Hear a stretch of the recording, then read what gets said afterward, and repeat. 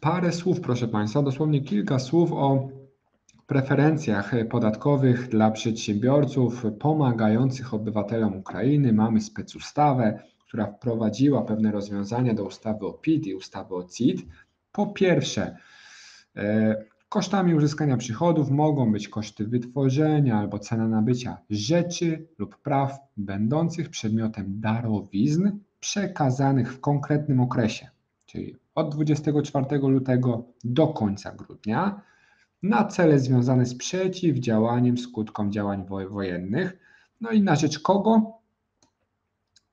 Mamy cztery grupy podmiotów. To są jakieś organizacje pożytku publicznego, to są jednostki samorządu terytorialnego, Rządowa Agencja Rezerw Strategicznych, czy podmioty mm, wykonujące działalność leczniczą lub z zakresu ratownictwa medycznego.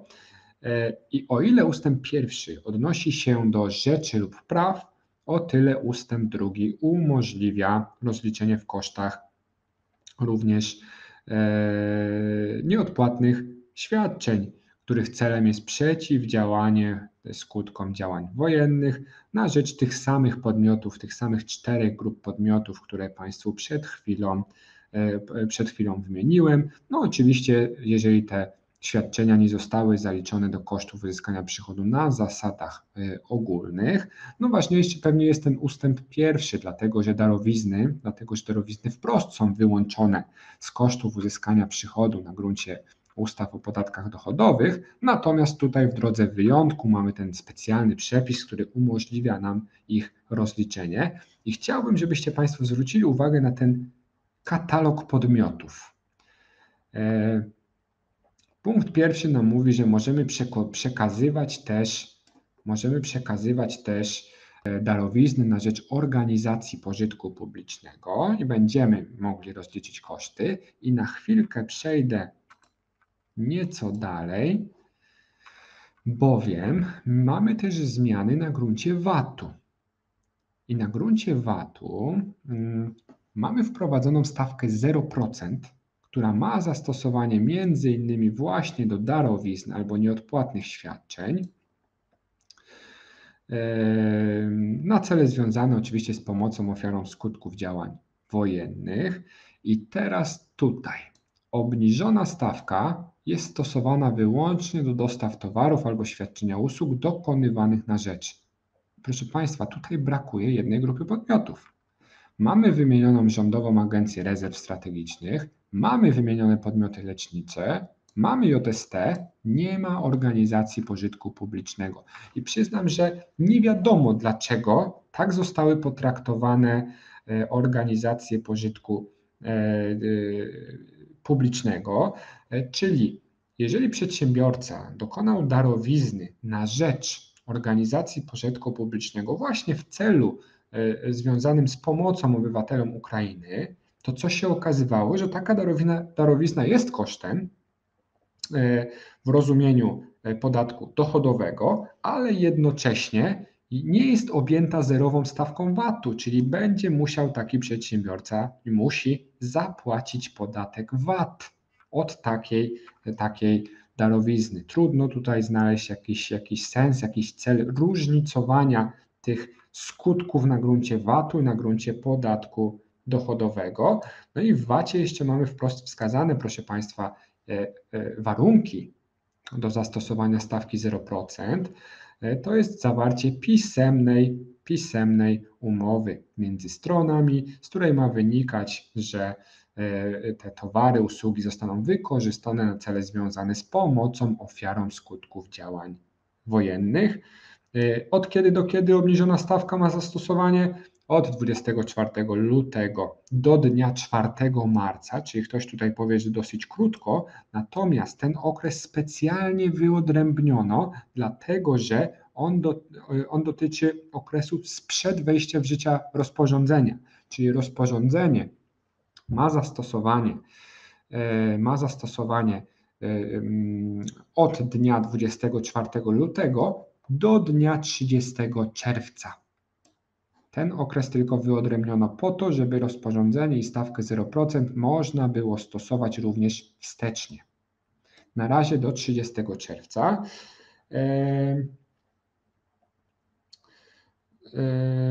No i jeżeli mamy do czynienia z, z, podatnikami, którzy rzeczywiście przed wejściem w życie tego rozporządzenia już przekazali takie darowizny, no to może się okazać, że oni nie spełniają warunku, bo nie wiedzieli, że mają jakąś pisemną umowę sporządzać i dla nich jest dedykowany jeszcze ustęp piąty. Ustęp piąty, który nam mówi, że, e, który nam mówi, że wystarczy potwierdzenie na piśmie dokonania dostawy, potwierdzenie dokonania dostawy towarów albo wykonania e, usługi. To nie może być, to nie musi być pisemna umowa. No i jeszcze kilka tylko tych przepisów, specustawy, które chciałem Państwu pokazać. E, przychodami nie są e, darowizny, nieodpłatne świadczenia, o których mowa w poprzednim, w poprzednim ustępie, ten, o którym tutaj Państwu, który tutaj Państwu pokazywałem. E, mm, e, przez podatni, otrzymanych przez podatników, o których mowa w artykule 52 ZF ustęp 1. Czyli o co tutaj chodzi? To jest, proszę Państwa, spojrzenie od drugiej strony. Ten, kto daje, przekazuje darowiznę, będzie mógł rozpoznać koszty, a ten, co ją otrzymuje, nie będzie dzięki temu przepisowi musiał rozpoznawać przychodu. E, mamy jeszcze trzy takie specjalne artykuły. Mamy 52 e, artykuł, który zwalnia od podatku dochodowego pomoc humanitarną otrzymaną w okresie właśnie od 24 lutego do 31 grudnia przez podatników będących obywatelami Ukrainy, czyli e, obywatele Ukrainy nie rozpoznają też przychodów w picie z tytułu otrzymanych świadczeń, które mogą, które są pomocą humanitarną. Kolejna rzecz. E, świadczenia pieniężne zwalnia się od podatku dochodowego świadczenia pieniężne, o których mowa w artykule 13 ustawy o pomocy obywatelom Ukrainy i z tego co pamiętam, proszę Państwa, to zwolnienie dotyczy E, świadczeń, którzy, które otrzymali, otrzymali polscy, polscy rezydenci e, z tytułu przyjęcia, e, przyjęcia osób z Ukrainy pod swój dach. Tam była ta, ta kwota kilkudziesięciu złotych dziennie. To nie będzie opodatkowane podatkiem dochodowym.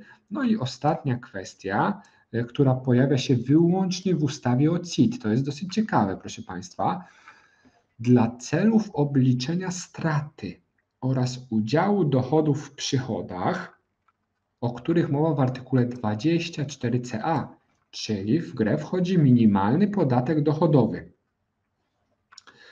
Nie uwzględnia się kosztów uzyskania przychodów, o których mowa w artykule 38, 38w, czyli cofnijmy się tutaj tych kosztów uzyskania przychodu nie uwzględnia się na potrzeby liczenia straty e, podatkowej albo udziału dochodów w przychodach przy podatku minimalnym. Poniesione w tym właśnie okresie który, e, od 24 lutego do 31 grudnia.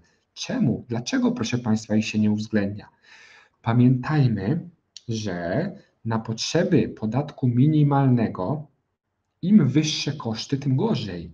Dlaczego tym gorzej? Bo albo może nam wyjść strata podatkowa i wpadamy na podatek minimalny, albo może nam wyjść zbyt niski udział dochodów w przychodach i też wpadamy na podatek minimalny. W związku z tym, w związku z tym wyłączono niektóre koszty z kalkulacji na potrzeby podatku minimalnego, co jest pozytywnym rozwiązaniem dla podatników CIT, bo mogą, mogą dokonywać darowizn dla e, obywateli na rzecz obywateli Ukrainy i nie muszą się przejmować, że w którymś momencie wartość tych darowizn może spowodować, że zapłacą podatek, minimalny podatek, minimalny podatek dochodowy.